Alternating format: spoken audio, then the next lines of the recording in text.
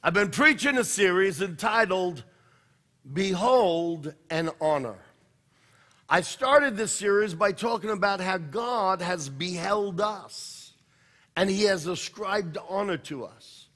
Let me describe or decipher or distinguish those two words. The word behold in the English, good day, Ernest, good to see you. Annika, God bless you. Uh, the word behold in English means more than to see, it means to see deeply. To behold literally means to decipher, to decode, to understand, to look beyond the surface. You see, we all have crazy moments. Who here has never had a crazy moment? Because that'll be your first crazy moment to put your hand up in a public arena and say you've never had a crazy moment. and you might just witness a lot of people getting crazy. We've all had crazy moments. The phenomenal thing is that God looks past the broken us, God looks past the messed up us, God looks past the wounded us and he sees the journey that got us there. And he loves us. Most people see the crazy us and decide that's too crazy. I can't be a part of that. But God, in his amazing love, beholds us. He looks past the surface of what's fractured and he sees the journey and he understands us, he decodes us, he deciphers us, and he loves us. And for someone to do that, that is just absolutely amazing and incredible. Most people will not. But then God takes it another mile further and he assigns honor. In the Bible, in the Greek, the word to honor your parents means assign value. In this world, sometimes, not all the time, we give honor if honor is due. Sometimes honor is due and we still, still don't give honor. We are a society that is by and large honorless. We have learned to live without giving honor. But we have a saying that we don't live up to give honor where honor is due. In the kingdom of God, God gives honor even when honor isn't due. Because when God puts the anointing of honor on us, it's because he beholds us and sees past our brokenness and sees the destiny that he intended for us. And so he treats us with honor. Honor is an anointing, and when you put honor on a person, they will grow into the value you have assigned to them. It's what God does with us. Last week, very quickly, I started this message Behold and honor yourself. I just identified the meaning of behold and the meaning of to honor. Look past your own mistakes, look past your past, look past the failure of maybe an hour ago and decipher, decode who you really are. I make mistakes, but it doesn't change the fact that I am a new creation. I make bad decisions at times. It doesn't change the fact that the fullness of God is in Jesus and the fullness of Jesus is in me. That's Bible, that's scripture. I may not always live up to my potential. It doesn't mean that seed of potential isn't in me. Hello? Absolutely. And uh, we learned this principle last week, principle number one, and that is that everything that God created, whether it was birds or whether it was a, a, a humpback whale or whether it was monkeys or giraffes or uh, it was a lion or it was a fruit tree or a flower, God gave every living thing a seed, and in that seed, He wrote the destiny of their design. And the principle is this God says in Genesis chapter 1 over and over again, as He creates each thing, He says, and they will reproduce after their kind. That's the principle we found last week. Every living thing, put it on the screen, every living thing reproduces after its kind, and the seed holds the destiny of God's chosen design or DNA for that living thing. Can we put that on the screen? Have you got it? There you go. That's the principle we learned last week. Every living thing reproduces after its kind. God said it. That's a divine law. And the seed holds the destiny of God's chosen design for that thing. It holds the DNA for that living thing. It cannot reproduce anything but what it is. When God created man, He created man not after his kind. He changes the language and He says, I will make man in our image. We will make man in our image. And the Hebrew word is tesleim. And it means to be a shadow of, to be a phantom of. You are similar, but you are not God. So God created man, unlike the animal world and the plant world, to actually bear his resemblance. God took his character and put it inside a man. God did not take his deity and put it inside a man, but he took his character, he took his potential, the Bible says that God crowned man with glory and honor. He created them in a higher status. And the Bible says that everything his hands created were under the authority and the governorship of Adam and Eve. He put his God likeness in them. God says, let's create man in our image, Teslem, and in our likeness, and that word is demuth and demuth means similitude. So God created man to be a phantom of himself, a shadow of who he is, a representative figure on the earth.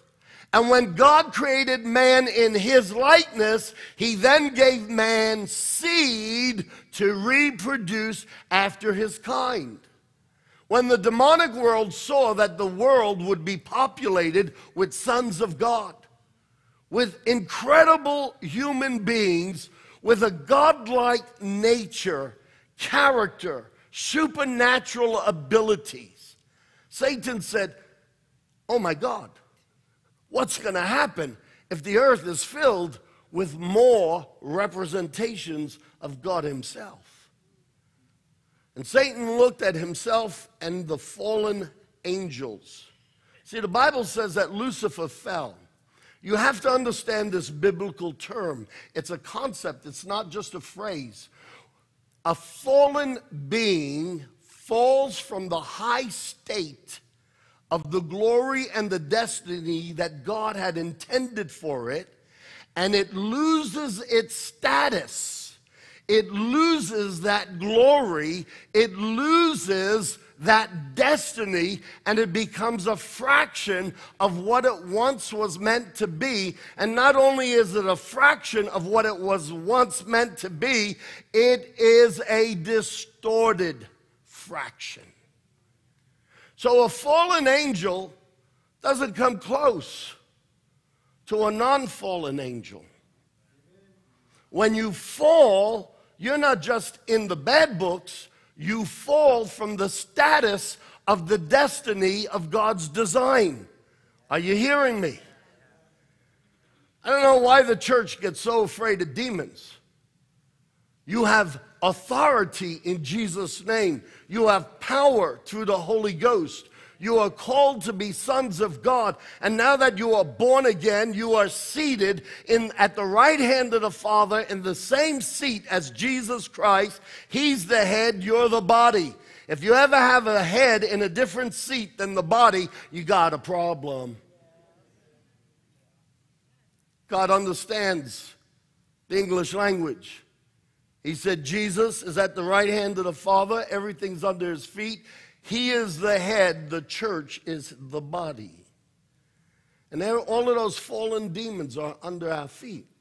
So Satan looks and he says, okay, we know what it is to be fallen. We are far less than what God originally intended. We know the glory we had. We didn't just lose favor, we lost the glory and the honor of God.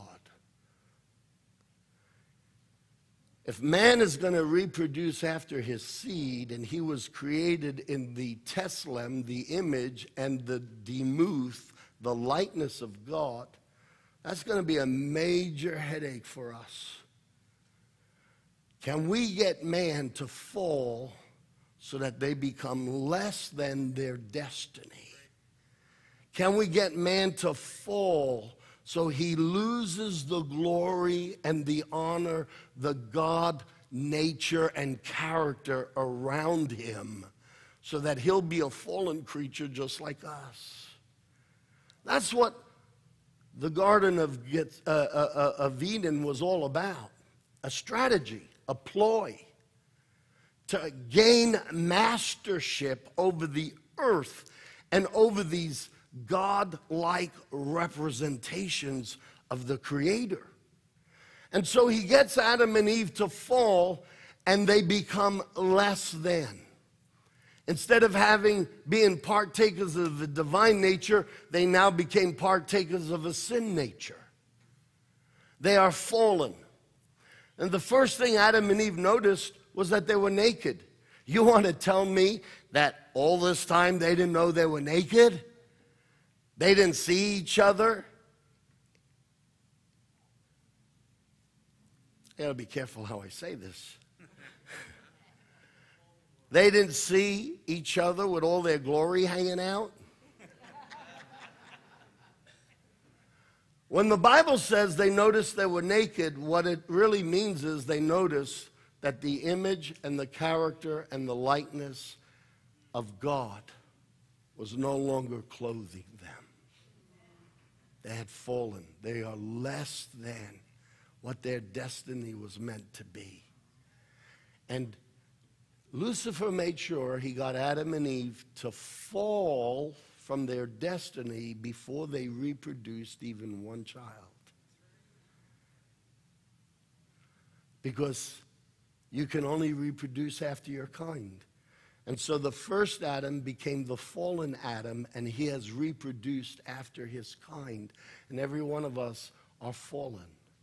So God sends the last Adam, and because it is principle, every living thing will be given seed and in that seed is the power of the destiny and the design, and they will reproduce after their kind. He sends the last Adam, Jesus Christ, to be our Savior, to save us from the fall. The church thinks only in terms of my sins are forgiven, I'm going to heaven. The gospel of the kingdom says, no, it's more than that. You're being reinstated to your former glory not just a position. There's a transformation, a miraculous change on the inside. Look at me. If the first Adam fell and as a human being had the power to reproduce fallen sons and daughters, do you think the last Adam who came from heaven can at least match that power and have the power to give birth to sons who are in his image? You see, in our religious thinking, we don't realize we preach a gospel that actually slaps God in the face and says that the first Adam has more power to influence humanity than the last Adam. We've reduced the gospel to the erasing of our sins. No, God erases the foul nature and reinstates us to our destiny and our glory. There is more God in you than you realize. Not because you're God, you will never be God. He's God. But He has put His divine nature and His character in you. Peter says that in 2 Peter. If you've been with me the last few weeks, you've heard me quote that scripture. We are partakers of the divine nature. Peter says we're born again, not of a corruptible seed, but of an incorruptible seed.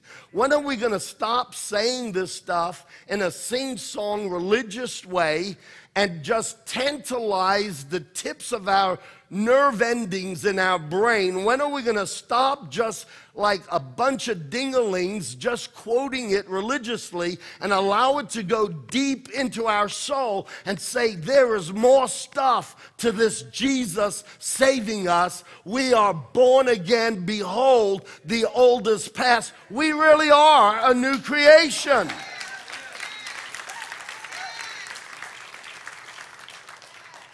So, according to the first principle we learned last week, every living thing has in it seed to reproduce after its kind. Jesus said, unless a seed falls to the ground and dies, the tree that is in that seed can never come to life.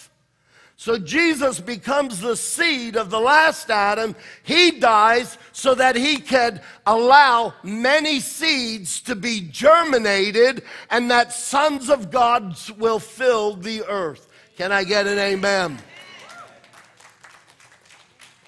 The first Adam reproduced after his kind. The last Adam reproduced after his kind. And there's more God potential in me than I understand. The reasons for me to succeed far outnumber the reasons for me to fail.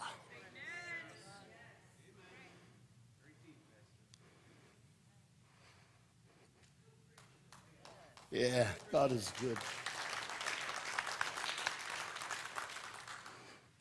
God is destined that man would reproduce after the design that God put in his DNA. Man would reproduce after his kind. Fallen Adam reproduced after his kind. The last Adam reproduced after his kind.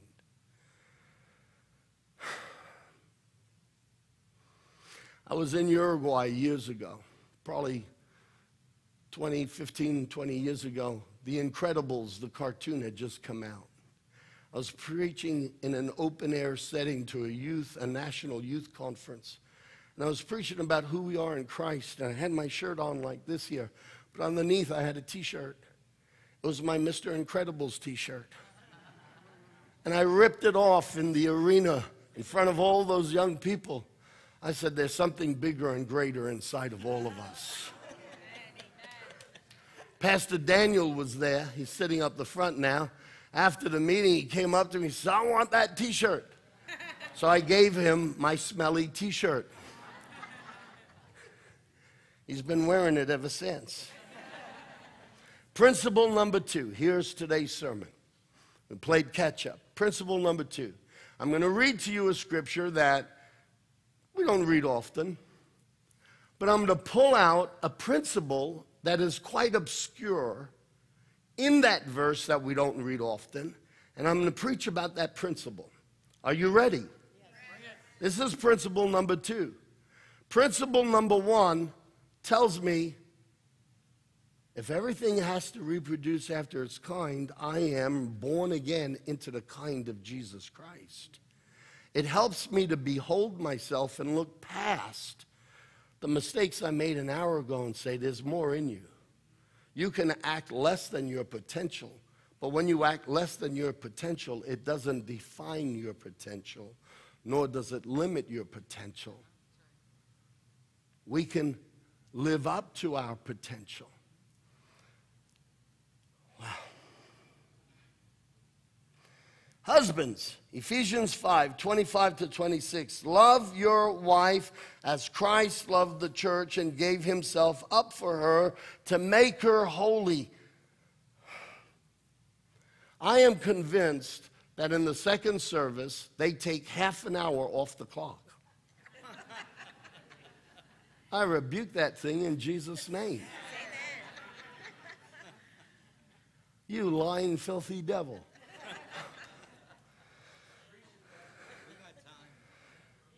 Husbands, love your wife as Christ loved the church and gave himself up for her to make her holy. This is what Christ has done. He gave himself up for the church to make her holy, cleansing her by the washing with water through the word. Do you know that Jesus washes us with water through the word? There's a very novel thing. It's called a shower. Has anyone ever had one? Thank God we have. Otherwise, I would reinstitute that we all wear masks if no one had a shower. Gas masks. We shower and we wash away the grime. We wash away the dirt. We wash away the sweat. We wash away the stuff that makes us feel less than. You know what an amazing coincidence is for everybody? That after we have a shower, we feel fresh. Yes. Jesus cleanses his church by the washing of water through the word. And what's interesting is that word, the word, in this one instance, is not logos. See, in the beginning was the Word, and the Word was with God, and the Word was God, and nothing that was created was created without Him, the Word. And the Word became flesh and dwelled amongst men. And He became the light of the world. That word, the Word, is Logos. If you want to go deep for a second, there's a word that precedes Logos, and it's Lego.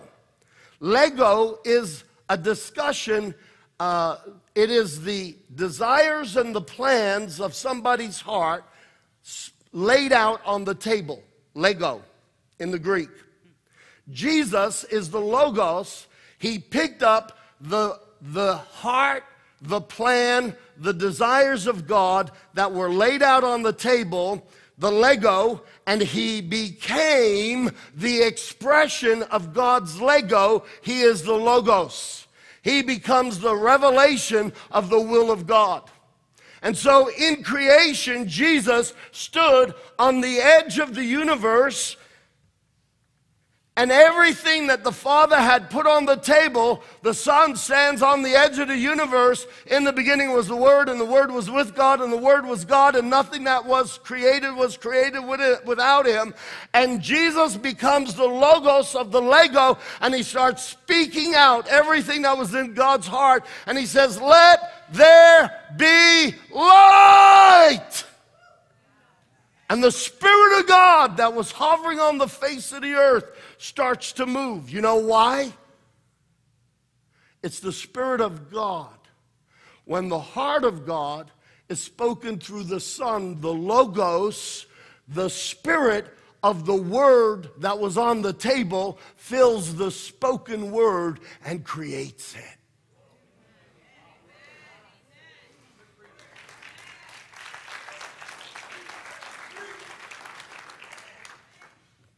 Jesus is the Logos. And most times when the Bible is referred to as the Word or the Word is mentioned in the New Testament, most times it's the Logos. But here, Paul says Jesus cleanses the church with water through the Word, but this time it's a different word. It's Rhema. Rhema. Can we put it on the screen? Rhema. The word Rhema comes from the word rheo. rheo means to speak. The word Rhema literally is used in the New Testament anytime that the Lord is speaking and his living word in a believer to birth faith in them. Here, when the Logos becomes a revelation to you, how many of you have ever read the Logos, the Word of God, and suddenly you have a, a aha moment and the lights go on? Who said aha? Thank you. You've had a few of them, right? You read the Logos. Jesus said, My word is spirit and life. He didn't say my words are spiritual. This is the difference between the Word of God and all the compilations of the wise words of so called spiritual men and women. The Word of God is alive. The same breath that God exhaled when He first said the Word, it is full of Spirit, and every time you read the Word, that same Spirit of that Word is present. And when you read the Word and you have this aha moment, what happens is it goes from logos to rhema. It becomes the revelation inside of you, and the lights go on, and some suddenly somebody's at home inside your head.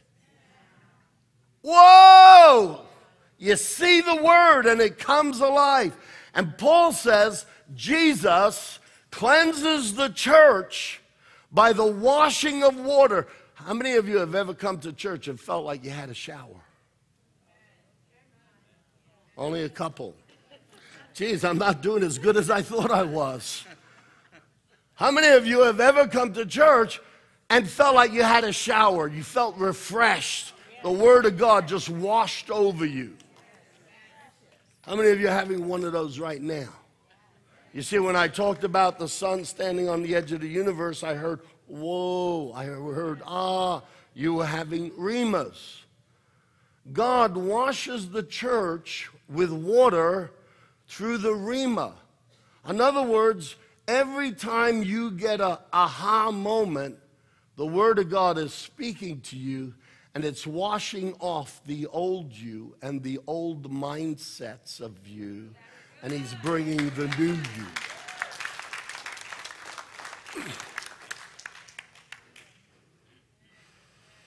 A rhema is the word of God spoken to you by the Holy Spirit that becomes a revelation to you. It's alive in you. So Paul is saying we need, I don't know why I did that. Paul is saying we need to wash ourselves off from every thought that disagrees with God's thoughts and wash ourselves with the Rhema of God's word.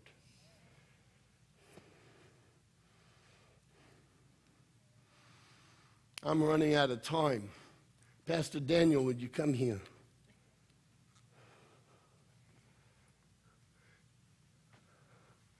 You see, the devil has a word too. Rhemas will bring you life. The word of God is spirit and life. The word of the devil is spirit and death it'll leave a spiritual residue on you. And so the devil comes along and he speaks into your ear, he speaks into your emotions, and he starts writing.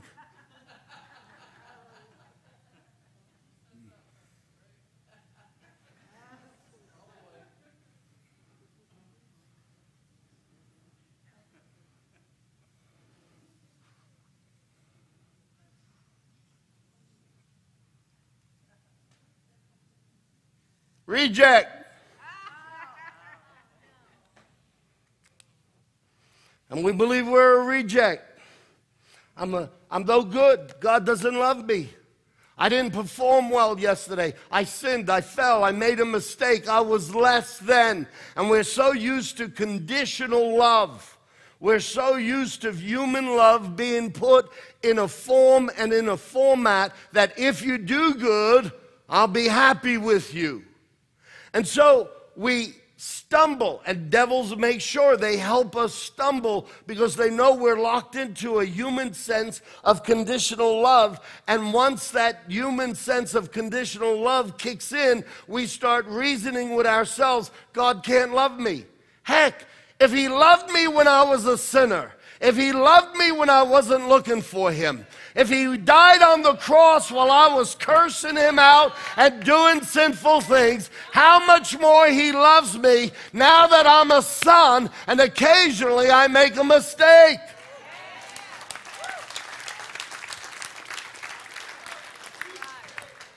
And so we need rhemas, the revelation of God's word, to get into us and we need to wash ourselves with the washing of the water of the Word of God. And so I take promises that tell me that I am the beloved of the Lord, and I say, Devil, you're a liar. I may have sinned, I may have made a mistake, but the blood of Jesus washes me clean, and I am a new creation. I am a son of God. He lives me, He loves me, He has a purpose for me. There is destiny in me. I am washed by the blood of Jesus.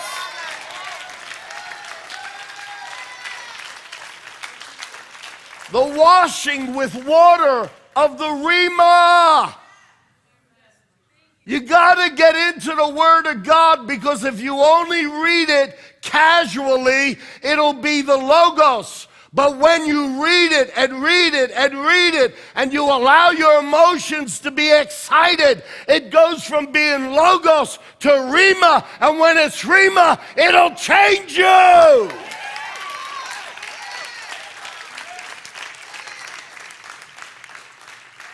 Let's put his hair back.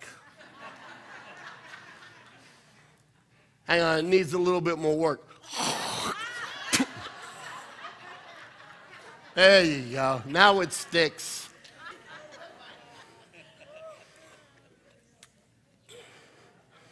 Devil comes along and says, You're nothing but a failure.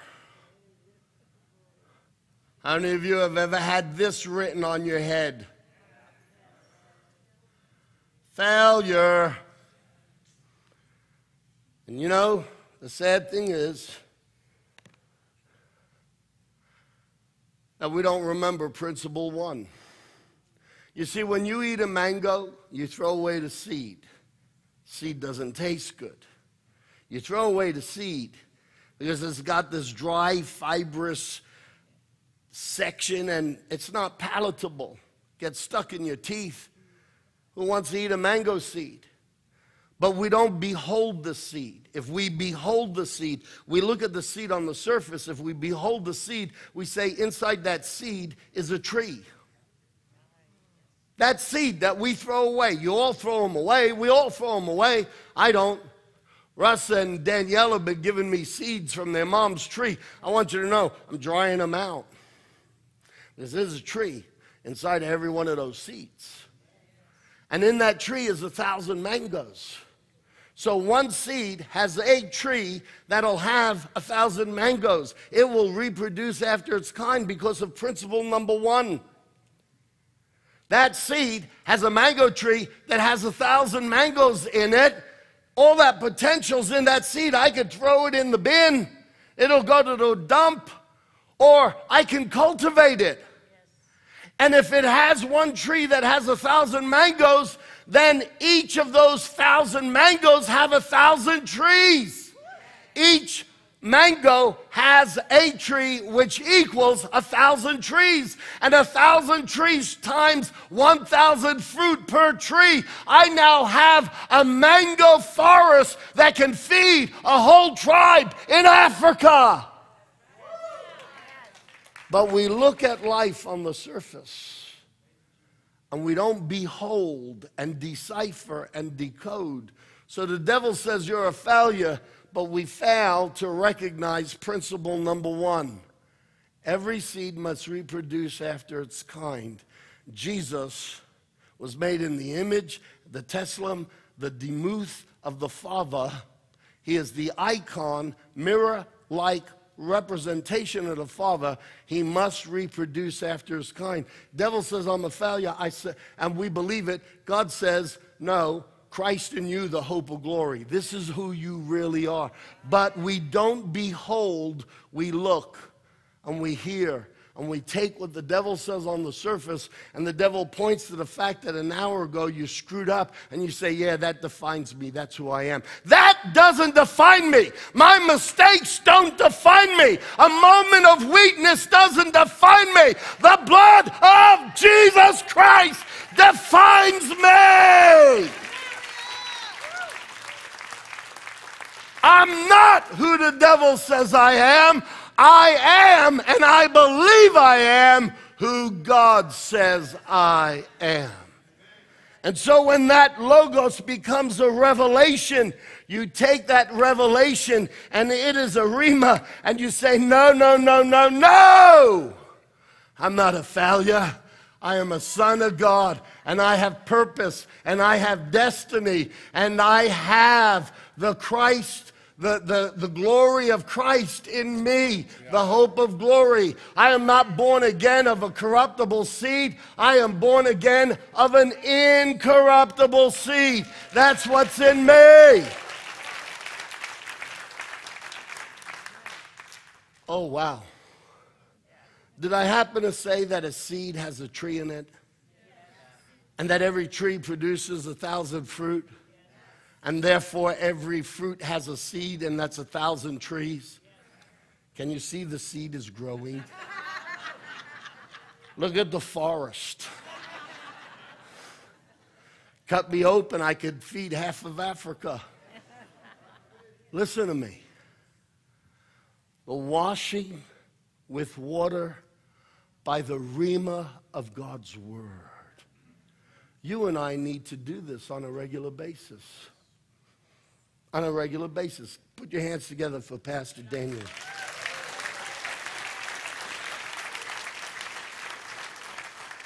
Second Peter chapter 1 verse 31 says that through his great and precious promises verse 4 you may participate in the divine nature through his great and precious promises. You've got to read this stuff. Man, I've been preaching it for weeks. Why? Because I can't get new material? Heck no. I've been preaching it because I want the logos to become a rhema so that you don't just clap when I say Christ in you. You have been restored back to the image of the first Adam and you're never going to lose that position because the title holder's Jesus. Just like the title holder was the first Adam, the devil seduced him. He gave up the title. We were sunk. But the devil will never seduce Jesus Christ. He's the title holder. I might sin, but Jesus holds the title, not Rob Scarallo. So the moment I get up, I accept my forgiveness, I repent, I just step back into who I am in Jesus Christ.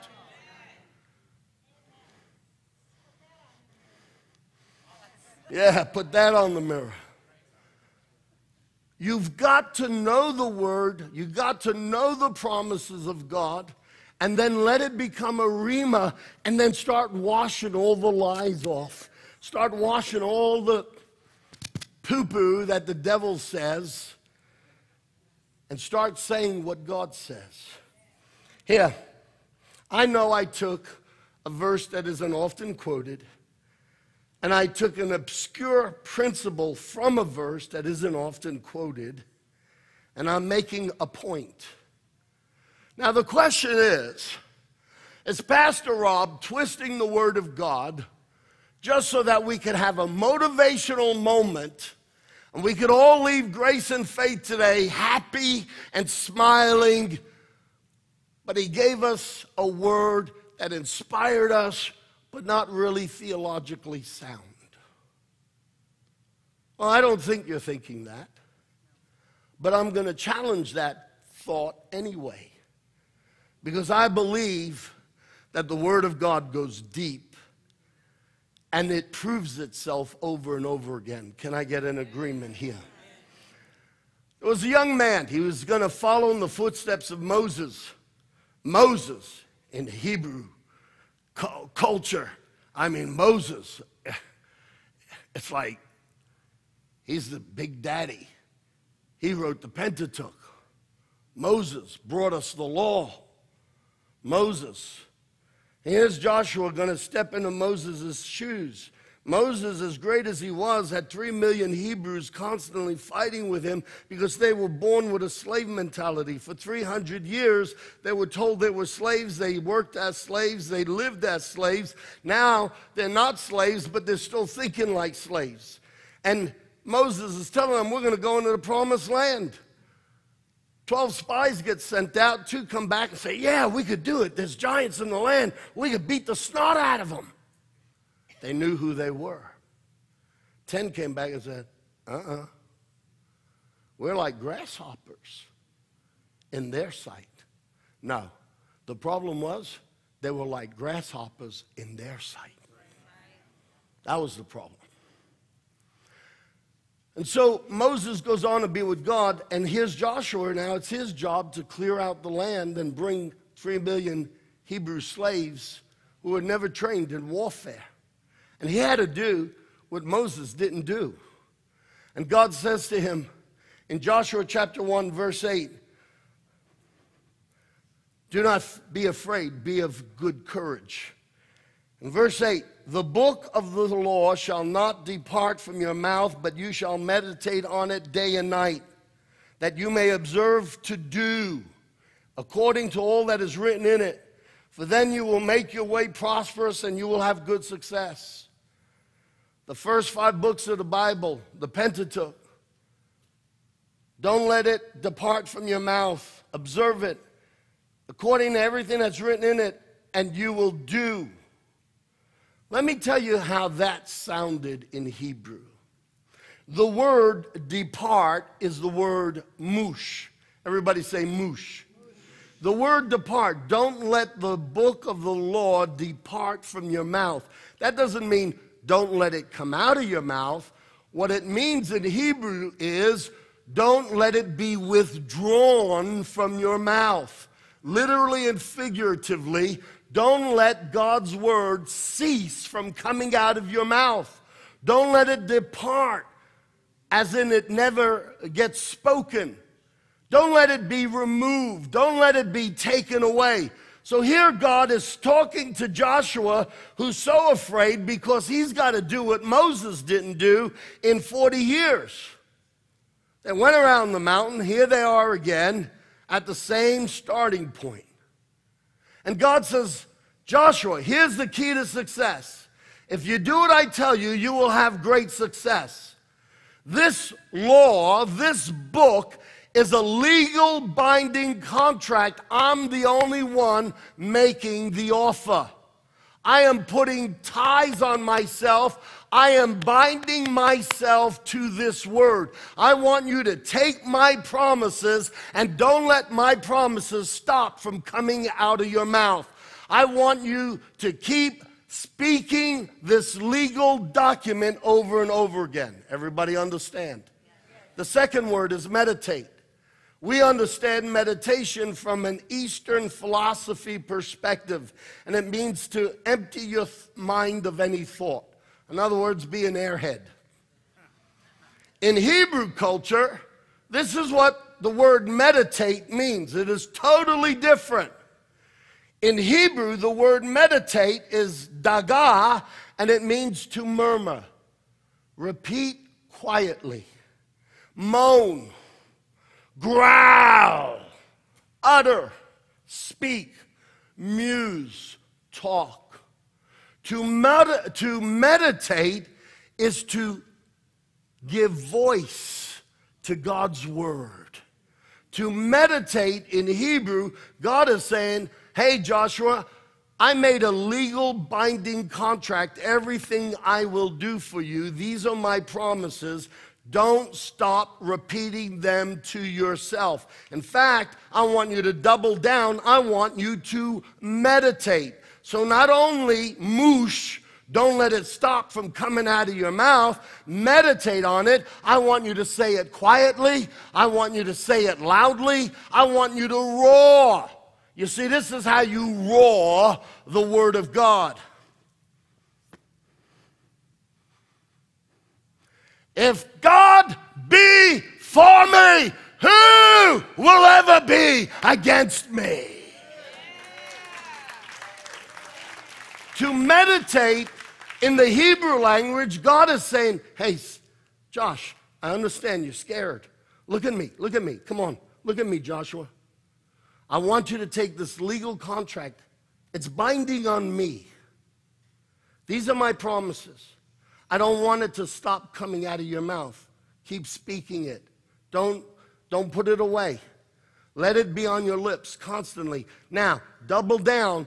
Don't just let it be on your lips. I want you to whisper it. I want you to sing it. I want you to shout it. I want you to growl. How many of you remember it was either last week or two weeks ago? I said, Jesus is the lion of the tribe of Judah and he's in us. Give me a growl. Come on, everybody, give me a growl. Sometimes. you scared me, Pastor Tom. Sometimes we got to get ferocious with the Word of God. We got to growl. You got to let the Rhema of the logos be so real in you that you, Wah!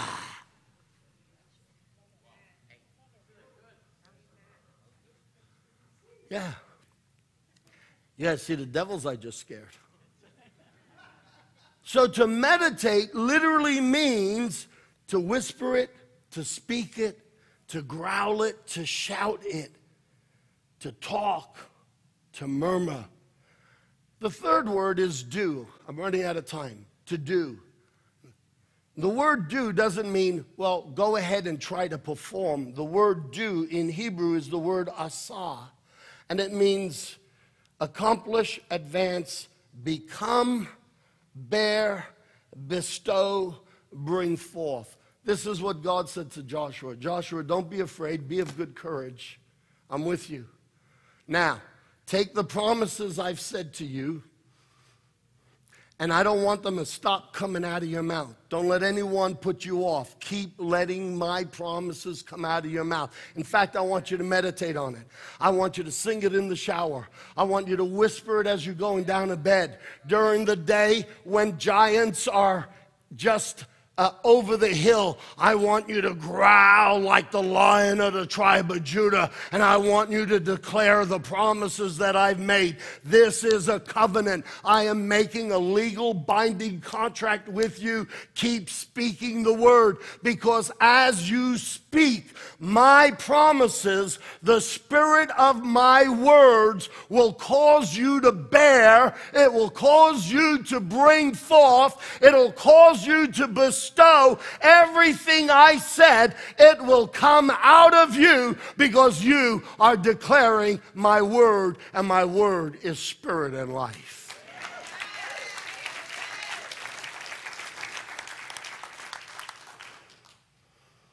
You see what God was telling Joshua was Joshua, you need to wash yourself off from everything that says you guys are nothing but slaves.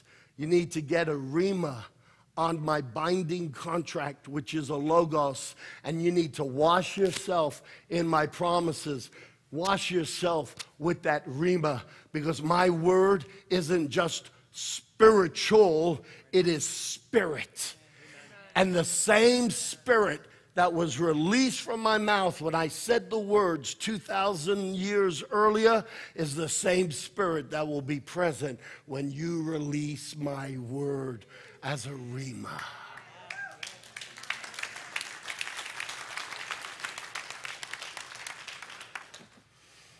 Twisting scripture, Pastor Rob.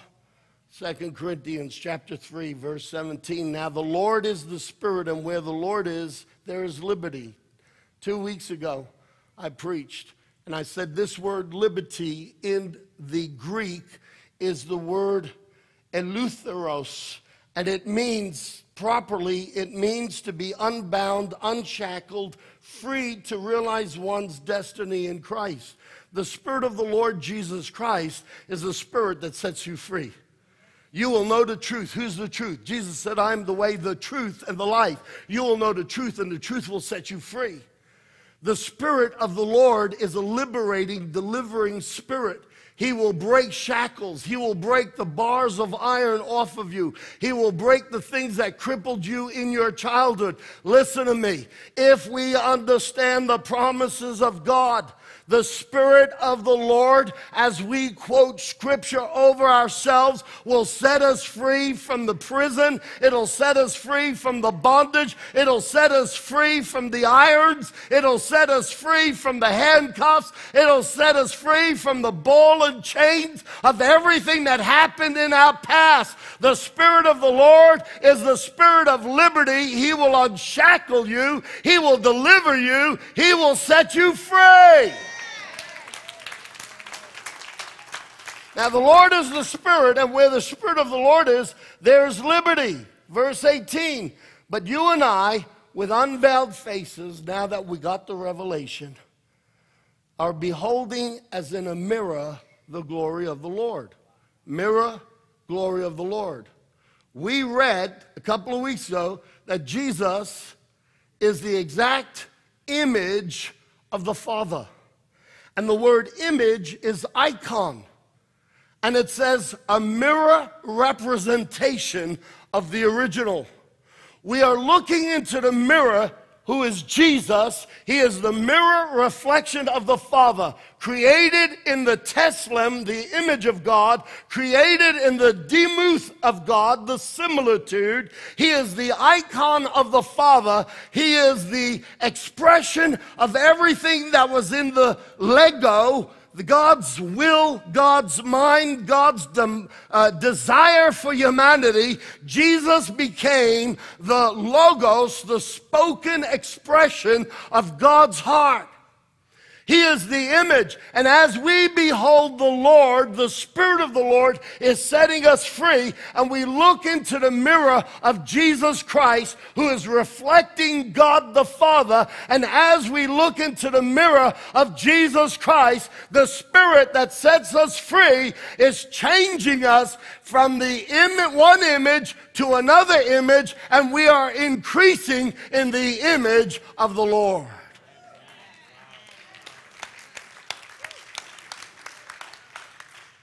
When you take the Logos of God and you speak it like a Rhema, and you look at the promises of God and you speak them over yourself, Christina, you are looking into the face of Jesus and you are saying, Everything you are is in me. And I believe it. Hallelujah. So, no, this isn't a twist of theology just to give you a buzz. i have proved it to you from different angles to show you that I am not manipulating the Word of God. This is theology. And God used this principle to raise up a young man to be one of the greatest generals ever in history. He didn't take three million fighting men, he took three million broken slave mentality people who were constantly grumbling that even God had to leave him in the desert for 40 years.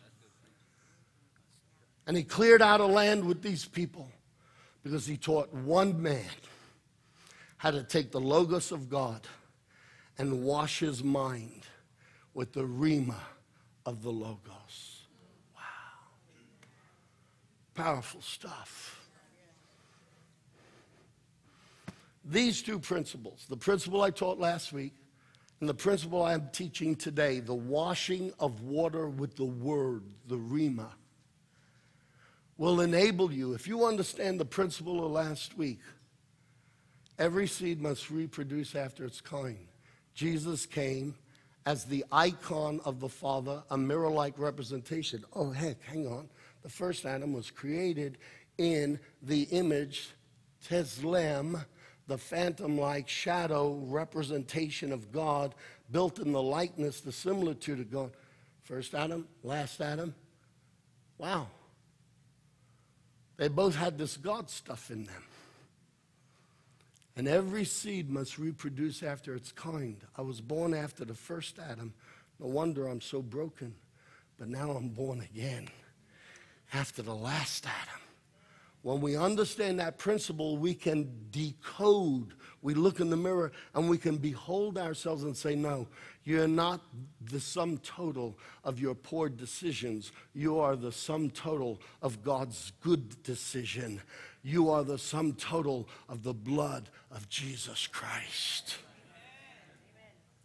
And we start washing our face with the Rhema of what God says we are and the Spirit of the Lord will literally start breaking the chains and breaking the shackles and transforming us into the image that we are beholding from glory to greater glory, Paul says. What's glory? The character of God.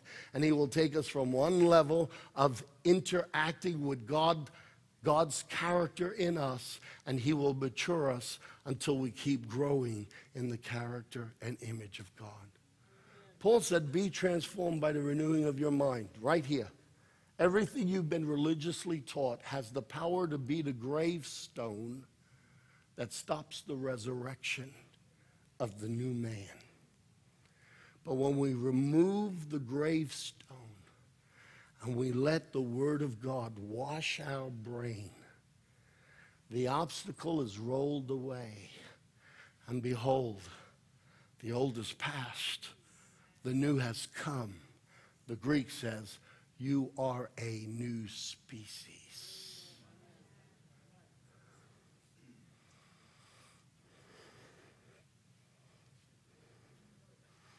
Pretty awesome stuff.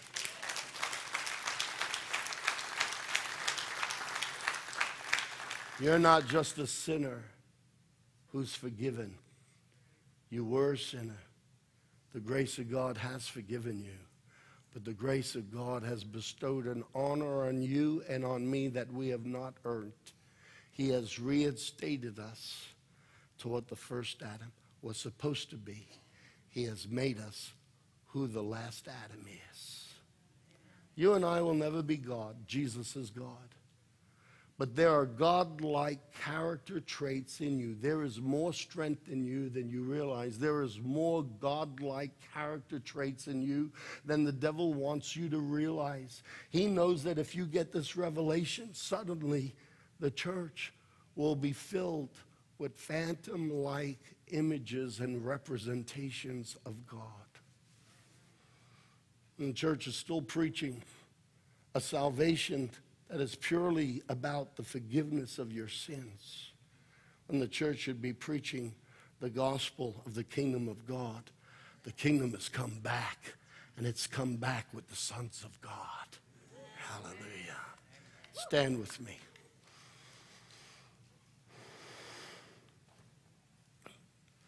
Every eye closed.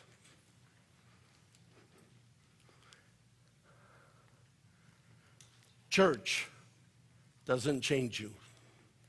Religion doesn't change you.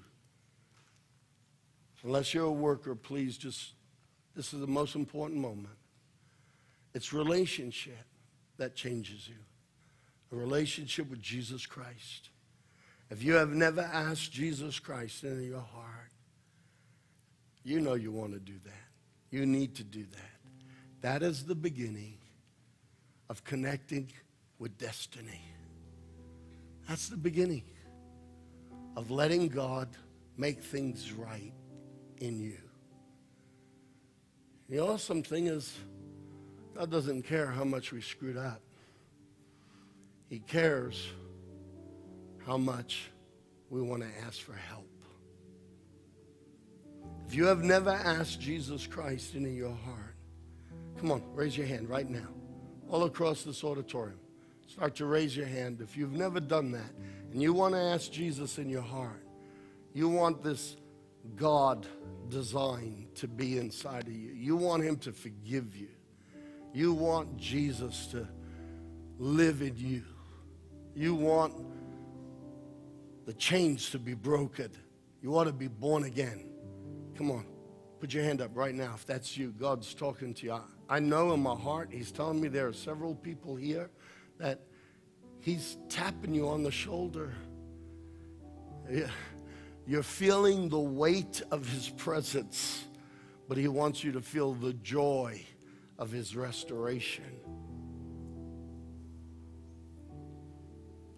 Every eye closed. If that's you, raise your hand.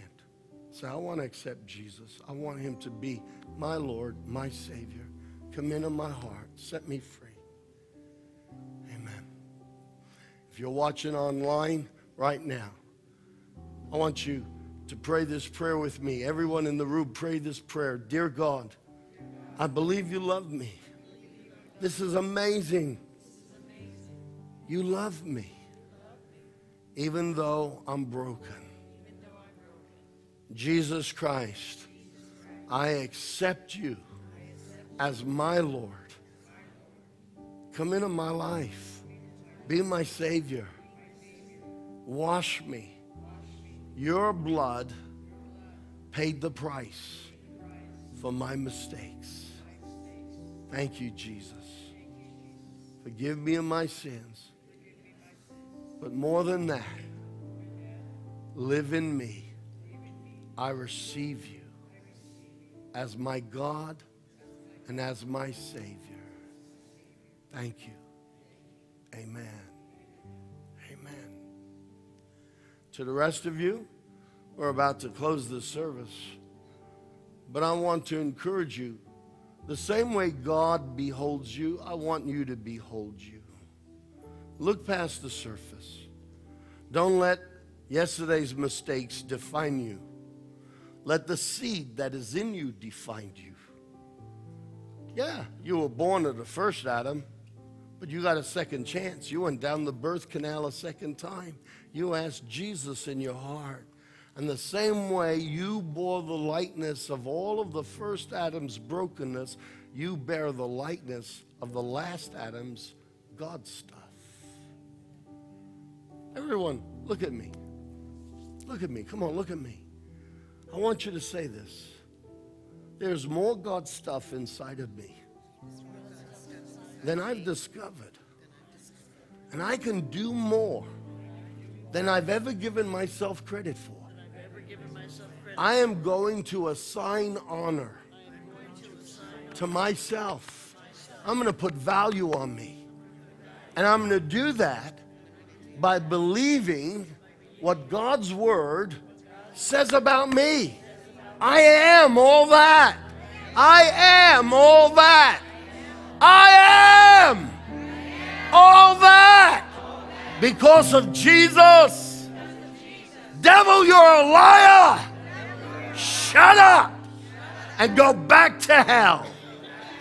I wash myself with the water of God's word. And chains are breaking. Amen. Now turn around, give at least six people